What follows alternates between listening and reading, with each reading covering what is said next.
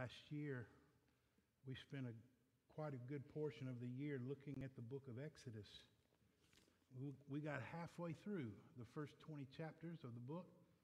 We completed that much, and there are 20 more chapters. So we're going to dive back into Exodus for this fall, and probably up until Christmas we'll be in Exodus. So let's jump back in where we left off. Exodus 21. We'll be looking today at verses 1 through 11. If you didn't bring a Bible, there are plenty in the back of the pews in front of you. Please take one and open to uh, the second book of the Bible, Exodus. About halfway through that book, chapter 21. When you've found that place, I'll invite you to stand for the reading of God's holy word.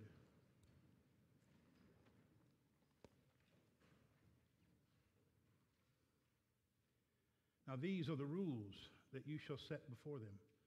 When you buy a Hebrew slave, he shall serve six years, and in the seventh year he shall go out free for nothing. If he comes in single, he shall go out single. If he comes in married, then his wife shall go out with him. If his master gives him a wife, and she bears him sons or daughters, the wife and her children shall be her master's, and he shall go out alone.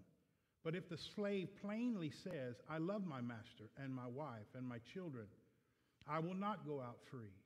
Then his master shall bring him to God, and he shall bore his ear through with an awl, and he shall be his slave forever. When a man sells his daughter as a slave, she shall not go out as the male slaves do if she does not please her master, who has designated her for himself. Then he shall let her be redeemed. He shall have no right to sell her to a foreign people, since he has broken faith with her.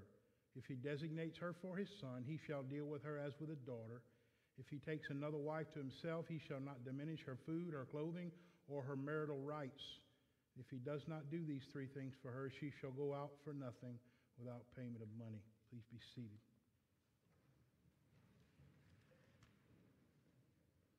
Louis Freeh was director of the FBI from 1993 until 2001. During his time as the director of the FBI, he ordered that all new classes of FBI agents visit the Holocaust Museum in Washington. Why would he want FBI agents to visit the Holocaust Museum? James Comey explains it this way so they could see and feel and hear in a palpable way the consequences of the abuse of power on a massive, almost unimaginable scale. He wanted all FBI agents to beware of what the abuse of power could lead to. The abuse of power is not limited, the abuse of authority is not limited to government leaders, military leaders, employers law enforcement, business management, teachers, even parents have been known to abuse their authority. When you ignore the welfare and dignity of those under your authority for selfish reasons, you have abused your authority. And the laws given in the scripture that we have read today are designed to keep that from happening. Let me remind you of the context. The people of God were slaves in Egypt for 400 years under the cruel oppression of Pharaoh for the most part of that. God, through signs and wonders and plagues, led them out of Egypt, crossed the Red Sea. By mighty miracles, he delivered them from slavery in Egypt. Now the people have journeyed to Mount Sinai, where God has given them the Ten Commandments. He's made a covenant with his people. And the next section of Exodus is what we might call the book of the covenant. In this, God lays out what it looks like for his people to live in this world as his people. What does it look like to live as God's people? The, the practical ways that they should live and carry themselves every day begin here in chapter 21. And you may think it strange that God would begin these, these rules for everyday life with slavery. Well, there's a good reason for this, I believe. You see, the Israelites were former slaves. And it would be unthinkable, absolutely unthinkable, for them to treat one another the way that Pharaoh had treated them. So God wants to make sure that they understand. Now, here's something you need to keep in mind. Why didn't God just eliminate slavery altogether? Where as we go through, you're going to understand why. There's some very good reasons why. God allowed servitude of certain types, but it was always designed with safeguards and protection for the one who was serving. And you'll see and understand more as we go through. Here's something we have to keep in mind as we begin to look at this Hebrew slavery was nothing like, absolutely nothing like, the awful practice of slavery in America's past. Hebrew slavery did not resemble what we experience in this country in any way, shape, or form. The slavery that happened in this country was godless and wicked. And as you'll see in these verses, the rules given here are designed to prevent exactly that from happening. To avoid the kind of slavery that took place in Africa, in early America, and still take place, takes place in many places even to this day. Now, thankfully, slavery of any sort is no longer a reality in America, but this scripture is still very important, and here's why. Because it teaches us a very important principle about the exercise of authority. See, there are no slaves in our country today, but there are many people, many of you, who have some position of authority. Employer, supervisor on your job, a parent or a grandparent, a teacher. We got a ton of teachers in our church who are going to have kids back in their classrooms this week. Listen, there are a lot of you who have authority over some people in your life. And this scripture has a very important principle for how you exercise that authority. How God would have you before him to exercise authority. Now, now I want to look at this scripture with three headings. First of all, what we learn about God. Let's look at this scripture and ask ourselves this question What do we learn about God from these rules He's given us about slavery? Here's what we learn. You ready? God cares about the welfare and dignity of those under our authority. God cares about the welfare and dignity of those under our authority. Now, we're going to walk through these rules and ex- I'm going to explain them, and you're going to see for yourself that God is protecting and ensuring the welfare and dignity of those who might be enslaved as Hebrews. Now, several things you need to know about Hebrew slavery. First of all, Hebrew slavery was voluntary. Hebrew slavery was voluntary involuntary slavery, forcing another Hebrew to be your slave, was illegal and against the law of God and could not be done. Slavery among Hebrews was always and only voluntary. And here's how it worked a person who was poor or had gotten himself in deep debt and had no way to pay his debt and still sustain his own life and family would sell himself to another Hebrew who was rich.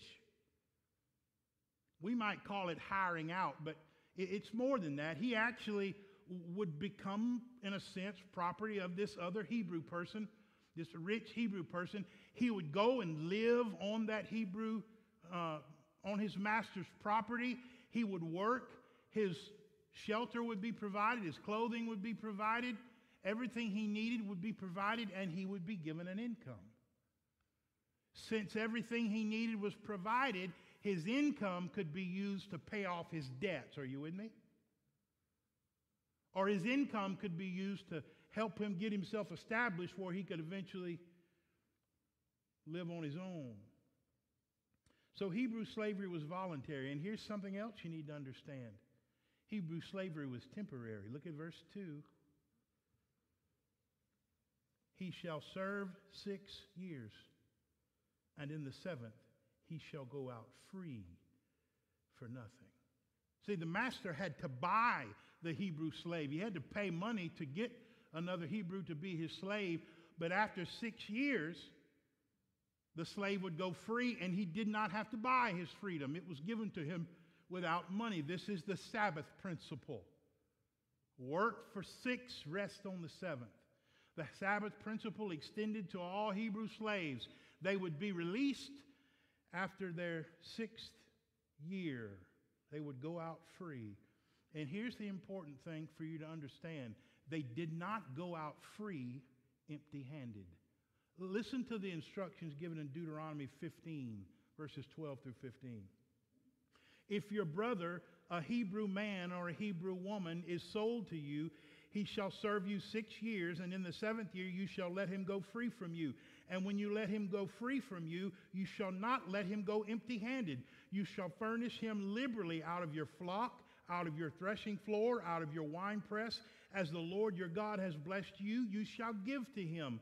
You shall remember that you were a slave in the land of Egypt, and the Lord God redeemed you. Therefore, I command you this today. See, they didn't just let them go on their own. No, they, they gave them all that they needed to get started on their own again wine and money and supplies and animals, grain. See, here's the thing I need you to understand Hebrew slavery had a constructive purpose. The poor, those in deep debt, could become members of a stable household where their needs could be met and they could work to pay off their debt. There was an advantage for both the master and the servant in this arrangement. It was for a constructive purpose. Now, there's something important to notice in verses 5 and 6. Actually, it begins in verse 3. If a man comes in single, he goes out single. If the slave was purchased as a single man when he left, he would be single. If when he went into servitude he was married, his wife would go free with him. However, in some instances, a man would be, be bought as a slave, as a single man, but the master would give him another slave, a female slave, to marry. And they might have children. In this instance, when it came time for the man to go free, he would go out alone. And here's why because the other slave was the property of the master. And you say, well, that's, that's wrong. That's cruel. It shouldn't be that way. Well, there's a very good reason for this rule. You see, if this man was released and became a very productive member of society, then he would soon be able to buy his family, redeem them for himself. But what happens if this man goes free? And before long, he's gone through what his master gave him and he's right back where he started. Then what happens to the wife and children? They're left destitute. No, no, under this arrangement, the wife and children are protected until the man proves that he is able to care for a wife and family. If you with me, do this. This is a protection for the wife and children. If the man is able, he certainly will be allowed to redeem them, according to Leviticus 25, verses 47 through 55. But if he failed, got back in debt, his family would not have to suffer for his mistake. They would be part of a stable household where they would be cared for. But there's something else that I need to point out to you. After slavery, after his six years, a man was not required to go free. He didn't have to. Verse 5 says, If the slave plainly says, I love my master, my wife, my children, I don't want to go out free. And it's hard for you to think if a man's a slave, why in the world wouldn't he go out free? This is what I'm trying to get you to understand. Slavery for Hebrews is not like we understand it. He would be well taken care of. He would have a stable household to be a part of. He would have a stable job. His family would be taken care of. And he might very well think, I can't do any better than this on my own. My master's good to me. He treats me well. He pays me well. I have everything I need and want. Why would I leave? In that case, the man doesn't have to go free. He's taken to the doorpost of the house. His ear is placed against the doorpost, and an awl, which is a little tool for punching holes, usually in leather, an awl would be nailed through his ear into the doorpost of the house. And that's to symbolize something.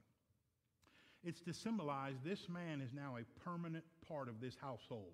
It's like, you know, nailing him to the house. He, he is now permanently attached to this household and then he will remain for the rest of his life a part of a permanent member of that household. But understand that's only voluntary. The, the master can't force his slave to remain a part of the household. It's only if he chooses to, because he loves his master and he wants to stay. This is what I need you to see.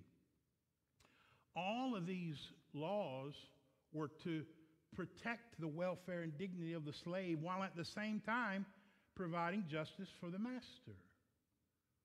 And then he moves on to talk about, in verse 7, to talk about maid servants, the Bible often calls them. This is females. The first verses talk about the male slave. Verses 7 through 11 discuss the female. Notice what verse 7 says. When a man sells his daughter as a slave, she shall not go out as the male slaves do. In other words, after six years, she's not released like the male slaves are. Say, well, that's discriminatory. That's wrong. Well, it wasn't. It was very wise, and here's why. Daughters would be sold as servants for a poor man who is trying to improve his daughter's prospects. In other words, she, he doesn't have a, you know, he doesn't, he doesn't have any real prospects for her. He's poor and he's in debt. He doesn't want her to suffer because of his own poverty. So he can sell her into servitude into the household of a rich man in hopes that she becomes a permanent member of the household, marries the son, or is given to one of the sons as a wife or is given to another member of the household as a wife and she can be well taken care of and have a good life. This is why it's, it's not like you see in many countries today like Thailand where poor villages, mothers and fathers will sell their children into sex slavery for money. This is not like that at all. It was done for the benefit of this girl to try to improve her prospects in the world. And here's why it's important for her not to be released after six years. Because a woman who does not belong to a household is vulnerable to all kinds of danger. In the ancient Near East, a woman on her own, apart from a household, is in very much danger. Say, well, it shouldn't be like that. Well, I agree, but it was. Women needed the protection of a household, of a, of a family, to keep them from being taken advantage of in all the ways you can imagine and then some. So by not setting them free, it actually protects them. It, it actually keeps them safe. It's not safe 4,000 years ago for a woman to be turned loose in society on her own. Not safe. There's several safeguards provided here for the welfare and dignity of these female slaves. Here's one of them. You see it in verse 8. If a master decides he doesn't want her service, she comes to the household, she serves, he decides he doesn't want her, he must allow her to be redeemed, normally by her own family. In other words, he can't just turn her loose, he can't sell her to foreign people who would mistreat her. He has to allow her to be redeemed by her own family or by another Hebrew family who wants her. He can't turn her loose just because he, well, I changed my mind. Can't do that. Why? Because it's, God doesn't want these people in servitude to suffer. Secondly, verse 9, if the woman, the, the, the, female servant, is given in marriage to the son, I love this, this verse, then the master shall treat her as a daughter. In other words, once the female servant is married to the son, she's no longer a servant in the family. Now she becomes as family. She's treated as a daughter, adopted in a sense. This is what the father who sold a daughter to another household would hope for that she would become an actual full fledged member of this wealthy household, like adoption. In verses 10 and 11, we see these instructions. Suppose the son decides he doesn't want this woman to be his wife after they've already married or engaged, and suppose he goes and takes another wife. Here's what the Word of God says. Look at it, verse 10. If he takes another wife to himself, he shall not diminish her food, clothing, her marital rights. In other words, all of her basic needs must continue to be met as before when she was his wife. In other words, he can't just get rid of her. He has to provide her food. It says clothing, which actually refers to shelter and marital rights. Kids, if you don't know what that means, ask your parents when they get home. In other words, he can't just cast her away. He has to take care of her. And look at what verse 11 says. And if he does not do these three things for her, she shall go out for nothing without payment of money. In other words, she has to be allowed to go back to her home.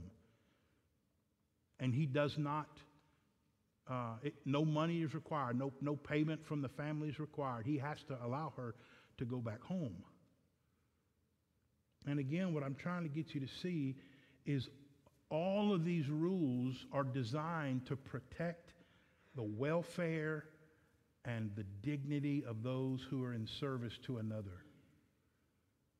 Now, we could debate whether or not, um, you know, whether or not God should have allowed slavery to exist at all. God did it. That means it's right. Anything God does is right because He's God. He makes the rules. We don't. But when you understand slavery this way, you understand it's nothing like the slavery that we know and abhor. God also hates that kind of slavery. This was a constructive opportunity for people who are at a lower level in society to try to elevate themselves. It, it, things were not like they are today. They couldn't get a Pell Grant and go to college and try to get a better job. You, you understand? Their only opportunity for some people was to try to get attached to a wealthier household where they could receive uh, training and a job. Do you think about that? When a, when a young man is sold into servitude to a, a wealthy household, he's going to learn different work and things that he can do. Then, when he's released, he'll know how to do it on his own. He's going to be provided with everything he needs. In some ways, it's like a six year apprenticeship. He's learning, preparing him for life. So God allowed certain forms of servitude, but always with safeguards protect, to protect the welfare and dignity of those who served. We need to move on. We talked about what we learned about God through this. When you look at these rules, the way God gave these rules, you learn that God cares about the welfare and dignity of those who are under the authority of another. He absolutely cares. That's why He gave these rules. What do we learn about ourselves? We look at these rules for how others under authority should be treated, what do we learn about ourselves? Well, to answer that question, we can ask another question Why are these laws necessary? Why did God even have to give these laws? Well, here's why. Because of man's, humanity's sinful, self centered nature. Because people tend to take advantage, even abuse those under their authority for selfish reasons. Why did God have to give these rules? Because He knows us. He knows us. He knows we'll take advantage of those under our authority for our own selfish benefit. He knows that we won't always look out for the welfare and dignity of those who've been placed under our charge. That's why he has to give these rules because we are sinful. Oh, you've seen it. Employers, they give their employees as little pay and benefits as they can get away with in order to increase their own profits. They're not looking out for the welfare and dignity of their employees. They don't care if they're having to get food stamps. Just get all the money in my pocket. I can't. I know those people exist because I work for some of them. I know a pastor right now has been in a church over 15 years and never been given a raise. How many of you know how much inflation has gone up in the last 15 years? How much the cost of living has gone up? It happens. Supervisors on the job who a foreman or someone who you know you have other people working under you and you get the God complex and you talk down to them and you issue orders to them, make them do things you're really supposed to do. Why? Because it boosts your own twisted ego. How many of you have seen that happen? Supervisors take advantage of those under them. Here's one for you. You leave the children home under the watch care of the older sibling, teenage daughter.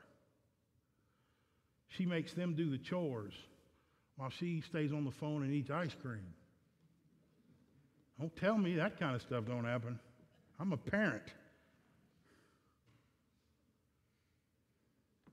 How about this? The pastor who uses his pulpit to constantly berate and criticize and condemn the congregation in order to somehow feel better about himself.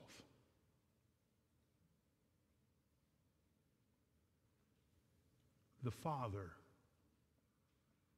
who treats his wife and children as if they exist to serve him. I know a few of those.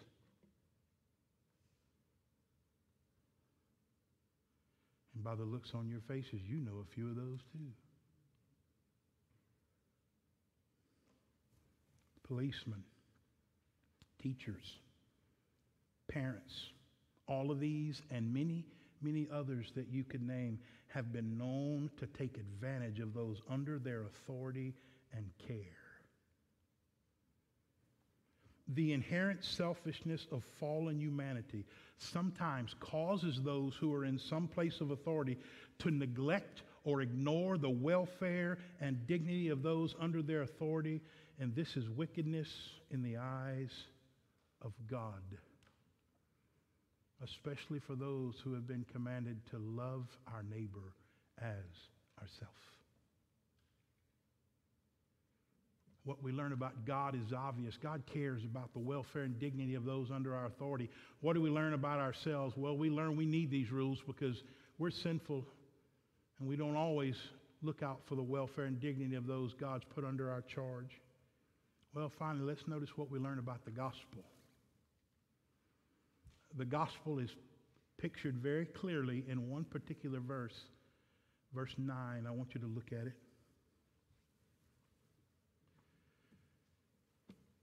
if a master designates a female servant for his son, in other words, to marry her, to, he shall deal with her as with a daughter. Here's the picture a man has redeemed a female servant. In other words, he's purchased her, gives her to his son as a bride, and adopts her into his family. I don't know if you know that's the gospel. God the Father has purchased us, redeemed us. Sometimes the Bible uses the word ransomed us. He has ransomed us, bought us for himself, given us to Christ to be the bride of Christ, and adopted us into his family. Let me give you just a few scriptures. Revelation chapter 5, verse 9. They sang a new song, saying, Worthy are you to take the scroll and open its seals, for you were slain, and by your blood you ransomed people for God from every tribe and language and people and nation. They're celebrating Christ purchasing people for God by the cost of his own life. How about the being the bride of Christ? Here's one, 2 Corinthians 11, 2. Paul said to the church, I'm jealous for you with a godly jealousy. Jealousy. I promised you to one husband, to Christ, so that I might present you as a pure virgin to him, purchased by God to be the bride of Christ. Picturing the church corporately, not us individually, but the church as a whole as the bride of Christ. And what about adoption? Ephesians 1 5. He predestined us for adoption as sons through Jesus Christ according to the purpose of his will. See, this is what God has done for us in Christ. He's purchased us by the blood of his own son. He's given us to Christ as a bride and adopted us into his family. Listen, this is what God has done. This is how God has acted on your behalf for your welfare and dignity. What has He done for your welfare? He's given you eternal life. What has He done for your dignity? He's made you a son of the Most High God. You can't get any higher than that. There's no higher place on the rung to go. There's no greater welfare than eternal life in heaven. God has given His darling Son in order to purchase you, give you to His Son as a bride, and adopt you into His family.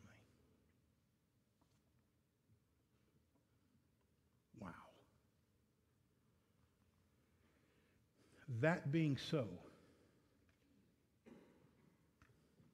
that being so, in light of all that God has done, how could you disregard the welfare and dignity of those God's placed under your authority? Here's what I need you to see God's concern for your welfare and dignity should overflow in concern for the welfare and dignity of others. When you, when, it, when you really get it, I don't mean when you hear it, yeah, I understand that. No, no. When it really takes root in your heart, when, when, it, when it really dawns on you just how incredibly wicked you were and how incredibly perfect God is and all that He's done to reconcile you to Himself purchased you at the cost of the precious blood of his own son, when all of that really dawns on you, you realize how incredibly, amazingly, wonderfully God has treated you, then you just can't go out and mistreat other people like that. When, it, when you really get it, that love God has for you overflows in love for other people. That's why Jesus said the way they'll know you're Christian is how you love one another. If it's absent, you don't belong to Him.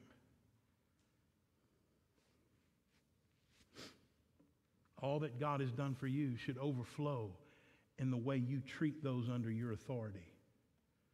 See, the, the, the transforming work of Jesus by the gospel, it gives us not only the desire to care for the welfare and dignity of others, but it gives us the ability. His love overflows in our hearts so that we want, we want to give the best to those under our authority. We want them to succeed. We want to do all for them we possibly can. And by His Spirit, He enables us to do so. So, let me ask a few questions. Teachers,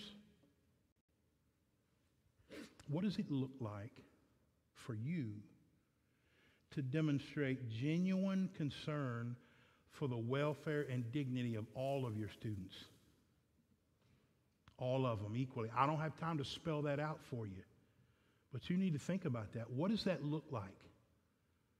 For you to do what you do, not for selfish reasons, but for their welfare and dignity. Employers, those of you who employ other people, what does it look like for you to demonstrate genuine care and concern for the welfare and dignity of your employees? What does it look like? Instead of paying them as little as you can get away with, how about paying them as much as you can afford to? Even if it takes a little money out of your pocket, you got more than you need anyway. Leaders, you may be a leader of a committee or some organization. Parents, grandparents, listen, what does it look like for you to demonstrate genuine care and concern for the welfare and dignity of those you lead? It's a question I need to ask myself, Corey, Katie, Caleb, all of us who are in leadership, our deacons. What does it look like?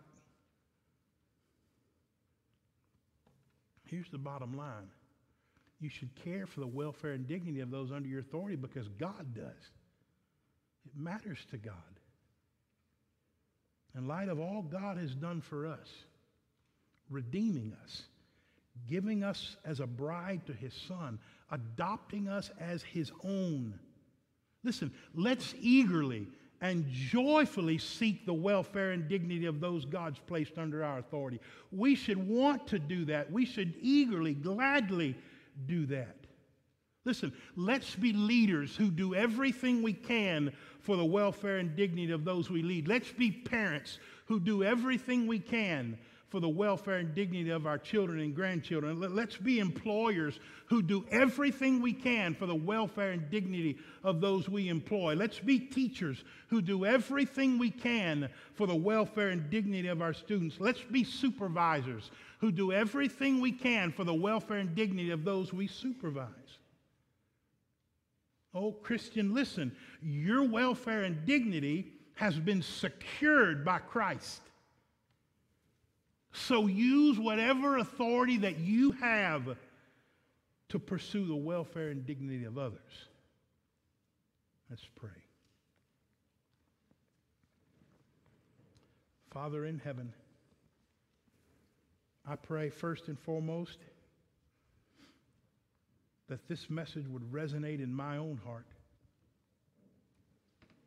That I would remember that as the under shepherd of your people, I am here to serve and not be served. That I am here for the welfare and dignity of others, not for the benefit of myself. Oh God, please, let me not just know that, but let me live in light of that and live that out each day. God, I pray for our teachers who are going back to school this year. I have confidence that our teachers already are concerned for the welfare and dignity of their students. I pray that this message would reinforce that in them, give them a, a new resolve to gen- genuinely seek the best for every single student. I pray for those in our church who are employers that they'll think about their practices. Are, are they really seeking what's absolutely best for those under them? Whether we're parents, whoever we are, whatever position we're in, are we pursuing the welfare and dignity of others? Oh God, that we would.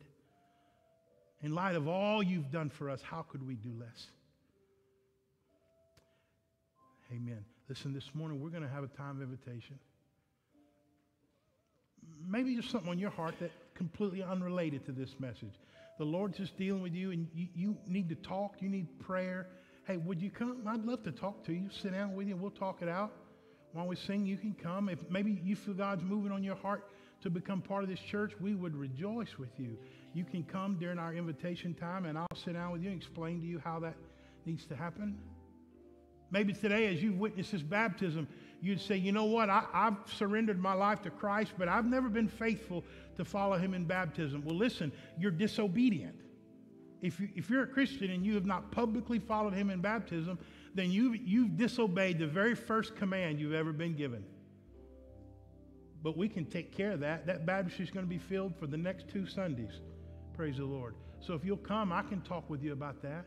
Whatever's on your heart today, we want to give you a chance to respond. Please stand. We're going to sing.